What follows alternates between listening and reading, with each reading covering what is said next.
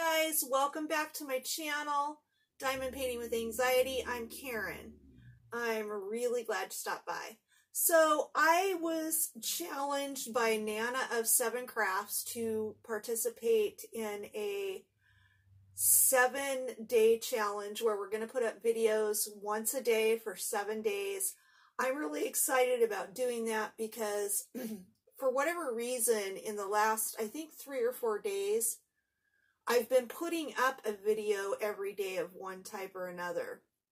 I don't know that I would want to do a video every day, you know, ongoing. But I think right now I've got to really light a fire under myself and challenge myself and push through my disbelief that I can, you know, put out even three or four videos a week. I have a tendency to think that I'm just too busy, I don't have time, I'm too disorganized or whatever. And I don't think that's necessarily positive or healthy in my life. So I'm really excited about doing this challenge. One of the other things I'm really focused on right now is doing um, finishes in February. So all the projects that I have laying around that are, you know, not framed, need to be sealed, need a few more diamonds replaced because they fell off, whatever.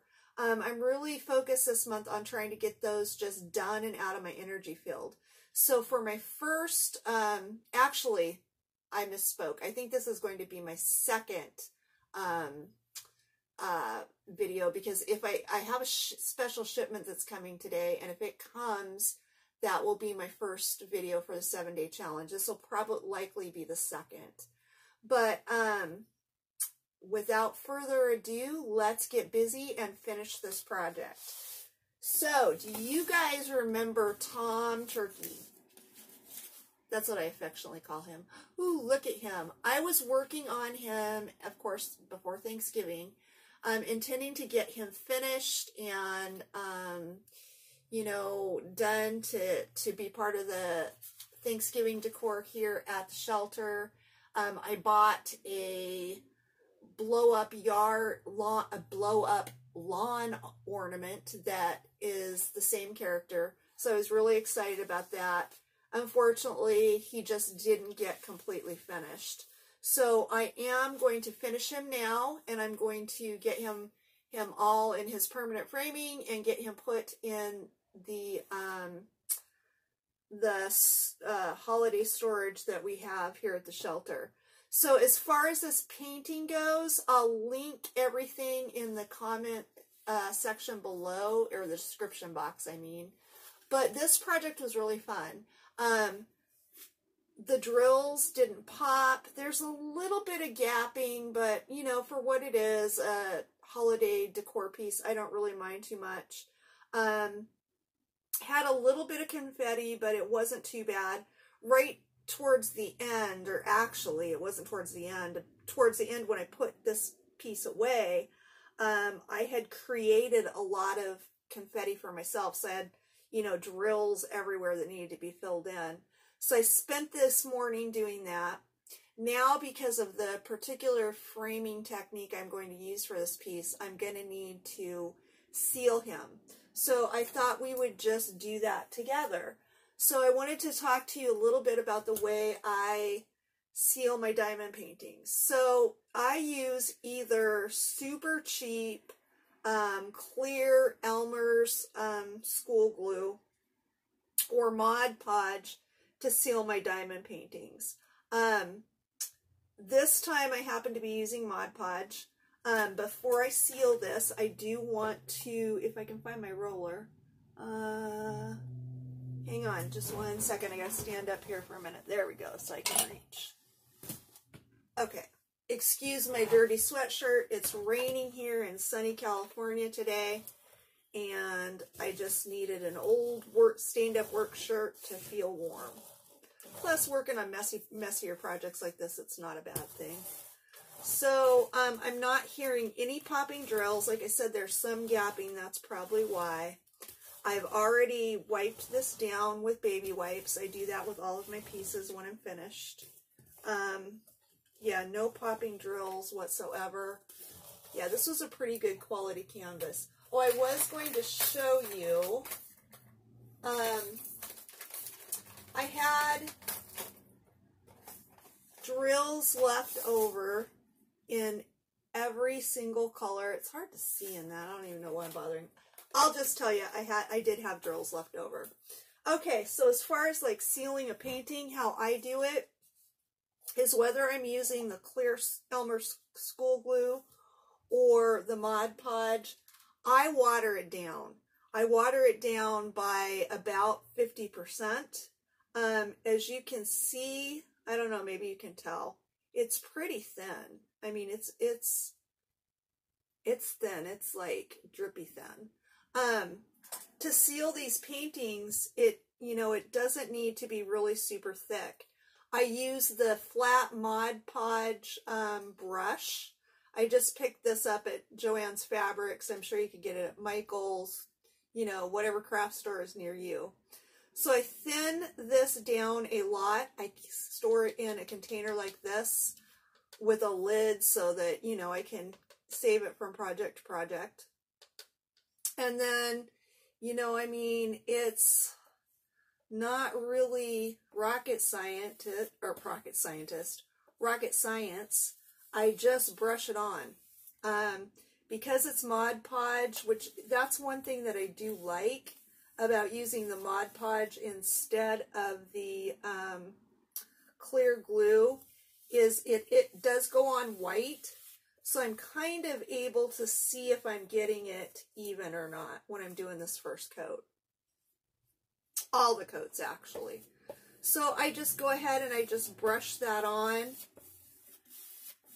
It's thin, so it's, you know, it's super easy to work with. Oh, I feel like that drill's popped up a little bit. Okay. Yeah, so, you know, I mean, I just brush this stuff on. Like I said, because of the particular framing that I'm going to be doing for this piece, which is kind of um, a frugal, creative solution to being able to frame something like this, there's going to be a couple of things that we're going to have to do to this this painting before we get it into its frame. But, um, you know, that's for me I put off doing things like this because diamond painting, let's face it, is my favorite part. You know, actually dropping the diamonds, hopefully on the canvas and not on my floor. But that's the part that I really like to do, so I procrastinate sometimes with my finishes. It depends on, you know, how anxious I am to get it to wherever it's going to be going or, you know, what this what the situation is. And like for something like this, I don't know if anybody else is like this, but once I have missed some kind of deadline, even if it's a self-imposed deadline, and of course the deadline on this was to get it finished and hung up here at the house before Thanksgiving. But once I've missed that deadline, I don't know, it's like I just lose interest. So that's one of the reasons why I got so many things sitting around here that now need to be finished. So I'm going to really try to focus on that. Um, probably will do, I don't know if I'll do videos where I'm finishing them all on camera, but at least doing videos with the um, the final results. So this will be finish number one for February. So that's super exciting, especially because this is one of the projects that's going to, like I said, it, there's probably going to be a couple of things I need to do to this before it can be totally finished. Um, so it's good to be kind of getting this one knocked out. I feel good about that. So then after I get this done, because it's so thin, it's got a pretty forgiving dry time. So I will go over it one more time and just kind of, I go from both directions. Just try to make sure this is even as possible. And then that's it. Um, when it's time for this, or while it's, you know, during the drying time, that's what I'm trying to say. Um, I put this actually in my shower. Um, I put it on the shower floor that way, you know, I'm not like close the door that way I'm not messing around or anything. Um, and it's going to stay nice and flat and it's, you know, hopefully going to dry well. So that's kind of weird. I feel like I'm seeing some like rivets or something for, or not rivets, but like um, puckers or something forming down there. Huh. Never had that happen before. What's the back of this canvas look like? Not too bad. I don't know. Hopefully it'll be okay. We'll see.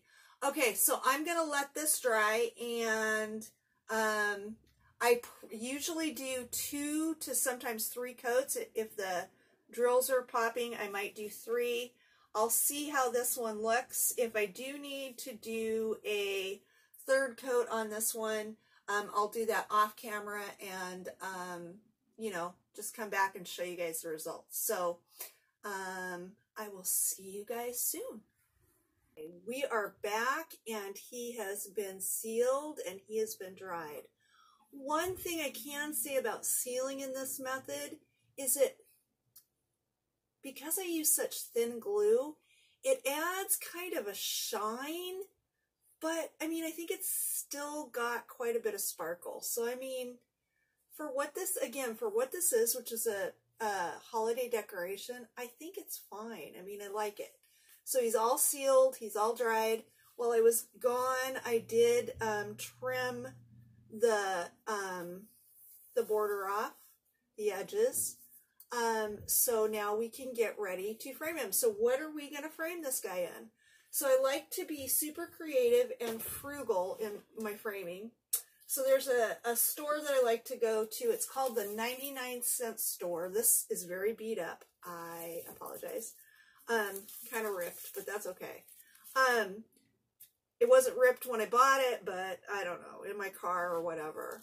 So there's a store here called the 99 cent store. Not everything is 99 cents, but but all the prices end in 3.99 or 99. Um, you can buy a lot of stuff there for a dollar, which is really cool. This particular frame, and actually it's not a frame. It's a, see it says right there, it's a magnetic board. Well, that's really awesome. For $3.99, that's a good deal. It comes with little magnets. Um, really cute piece. Um, but I need a frame for my diamond painting, so I'm going to use this. Because it is, oh, and it's hard to see, but I paid, it's ripped. I paid $3.99 for this, okay? $3.99. So I'm going to go ahead and open this.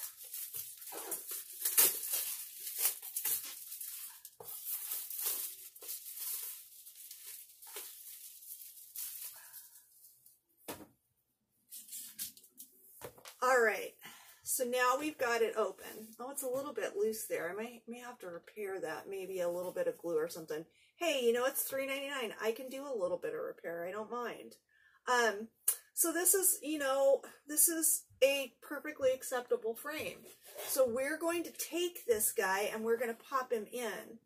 One thing that, oh, and there it goes. It's going to come apart right in that edge. One thing that I did notice, I'm going to, hang on, I'm going to do a repair on this right now.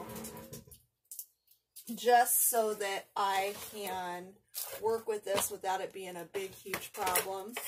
So quick repair until I have some time to dab some glue on that. I'm just going to tape this right here. Again, this may have not even been damaged at the store. It may have been damaged. I may have damaged it myself, you know, just bringing it home in my car. It's been sitting over there for a while. So, okay, I hopefully that'll hold that together so I can work with this a little easier. Okay, so one of the things that is going to be an issue is this is just a little bit too wide to pop into this frame. So what to do, what to do. Okay, guys, hang on to your hats. I'm going to trim this diamond painting. Yes, I spent all the time to put the, the diamonds down and I enjoyed every second of it. But it's a diamond painting. I want to frame it, this particular piece. If I have to use lose a few diamonds, it's not really going to matter. It's going to be fine. Hang on, my light pad's on and it's distracting me. Hello. I'm going to edit that out. Okay. Anyway. So yeah, so there, you know, I'm going to need to trim it and it's going to be fine. It looks to me like I would need to trim probably about four rows, maybe five, but I'm going to, I'm going to guess four on the side and maybe four, uh, maybe even two from the top. So we're going to, we're to try that. Okay. So we're going to start by going two diamonds in on this side with some really sharp scissors and I'm just going to trim those off. They're super easy to cut between. Um, you can obviously kind of see where the line is. If you run into a diamond that's a little bit out of place, these diamonds are actually easy to just snap right through with a pair of sharp scissors.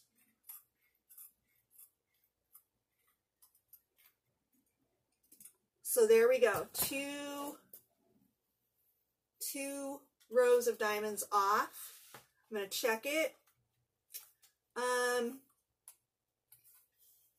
that looks about perfect. Okay. So now I think I'm going to be safe and try doing two right here at the top. Or even just for fun, maybe I'll try and keep it even. I'll do one at the top and one at the bottom.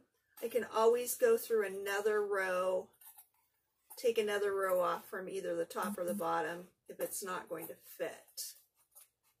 Super easy and super worth doing to have this nicely framed, even if it's in a $3, $3.99 frame, that I'm going to have to dab a little bit of glue in the corner. So let's try that. Mm, still a little bit more. I'm thinking maybe even two more rows. So, oh, I only took one off. I need to take one off the bottom. Let's try that. Better safe than sorry. I don't want a gap if I can avoid it. If I did end up with a gap, I would probably choose to go a bit wider and have a, you know, a little bit of a gap all the way around just so it looks uniform. But we can get really creative with this stuff. I mean, I used to be so intimidated by framing. And then eventually I kind of realized Okay, yep, we're still just, I think I need maybe one or two more rows off this. Ooh, I kind of got it stuck now. Okay, let's try one more row up here at the top.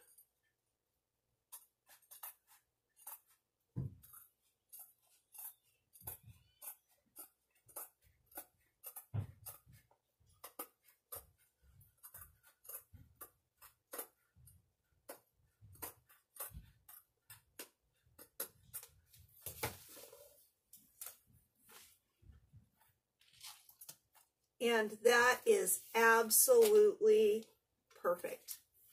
Fits absolutely perfect inside this frame. Okay.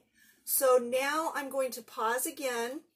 I'm going to go outside and use some spray adhesive on the back of this painting and on the back of this frame or the inside part of this frame and a um, little bit of movie magic and I will be right back with you. Hang tight.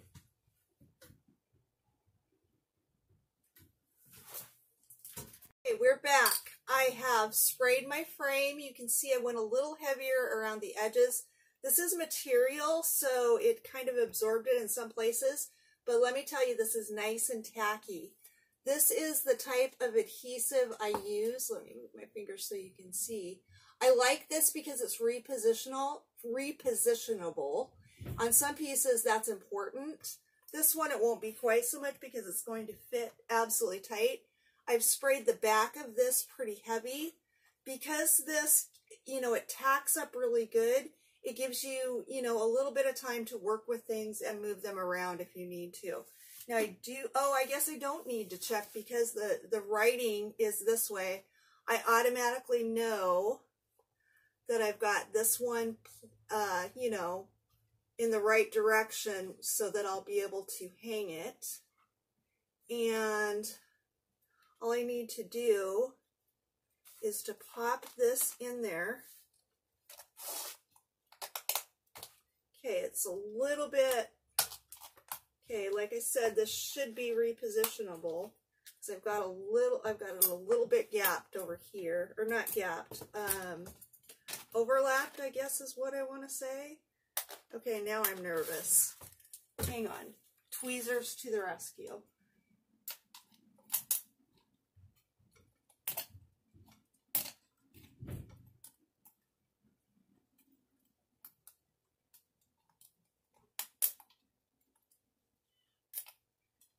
Just got to pry this up.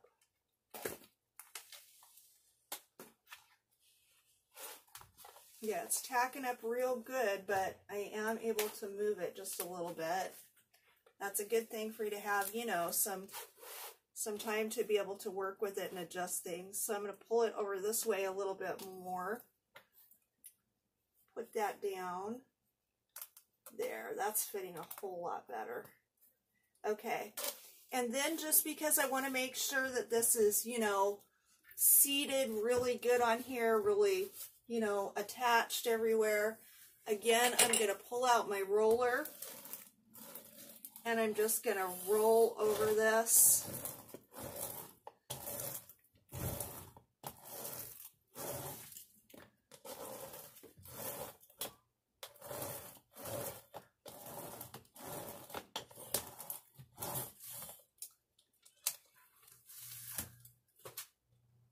And there we have it. Tom Turkey is framed. Yay! This is going to be so cute. So for $3.99, little bit of glue, very little time. You know, I did seal the diamond painting because it's it obviously doesn't have glass. We took a magnetic board and turned it into a wonderful framing option. I will need to um, place a little bit of glue right down here in this corner to hold this frame together. But you know, for $3.99, I think I can do that. Um, this is going to be a wonderful holiday addition to our decor here at the house um, that the kids are going to love for years to come. So yeah, I'm pretty happy with it. What do you guys think? Be sure to tell me in the comment section below. Thanks so much for watching, for supporting my channel. And remember, we can change lives one drill at a time, even if it's just our own. Because if our lives are better, the entire world's going to be better. So thanks for watching, you guys. See you soon.